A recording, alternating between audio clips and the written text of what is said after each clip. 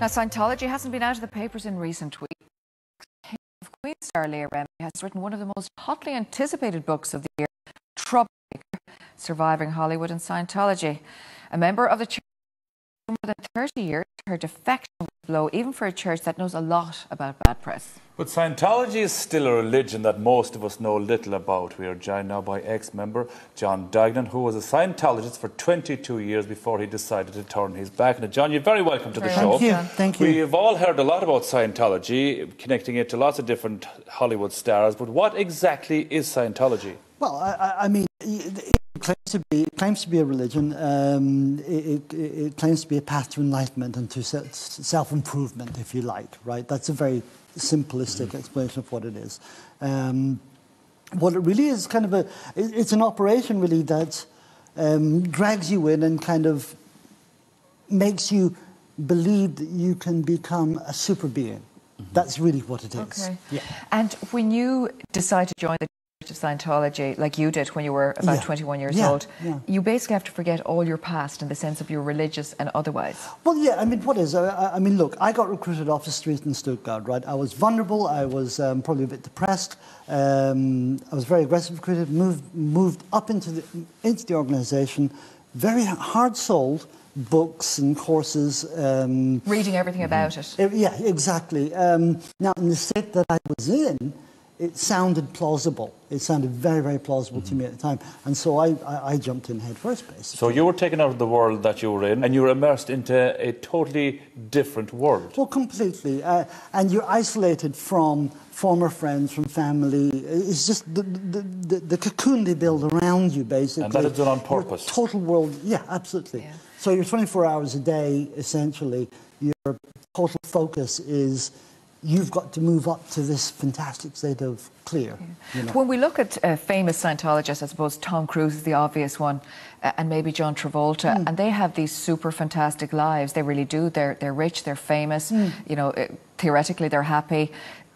Do they inspire you within the church to to look to these type of people to say you too can move up in the world? Yes, I mean, I mean, obviously, you know, it's very much used as a motivator within the group and to make you feel good about the group that Tom Cruise can stand up there and say blah, blah, blah, you know, wh- whatever they say. Day to day life though was different for you. Completely different. I mean, it was, yeah, look, I joined staff uh, um, because I, I bought all the courses I could. I didn't have a lot of money. Look, I was a young fellow in Germany. Yeah, but these are expensive too, aren't they? You have to kind of hand over your money.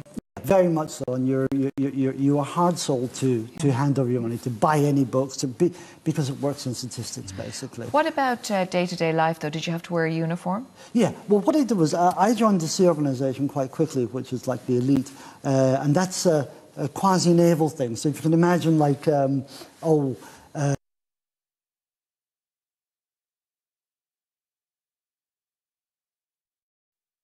uh, you know, an officer on the deck of kind of Irish ferries or something, you know, with the kind of the black tie, the Yeah. epaulets and all that stuff. And so that was what, what we wore.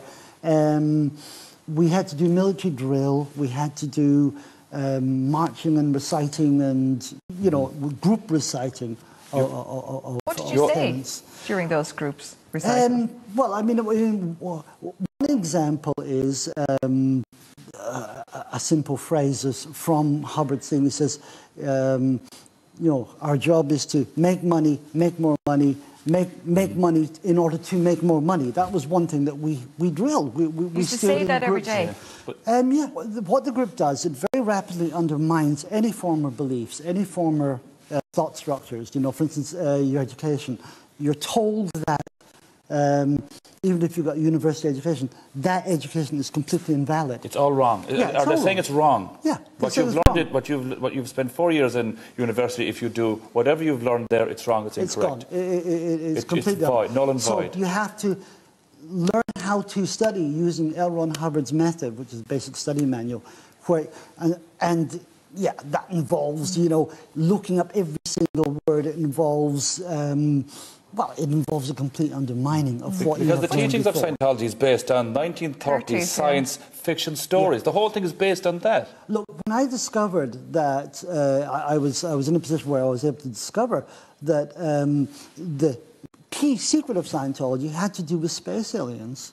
um, who were dumped on Earth uh, 75 billion years ago into volcanoes that, expl- that were blown up by nuclear bombs, and then these space aliens were thrown around and attached to human bodies. Do they say that you're an alien? Are you to believe No, you're a super I- being? Yeah, yeah. Well, uh, well, obviously, I come from.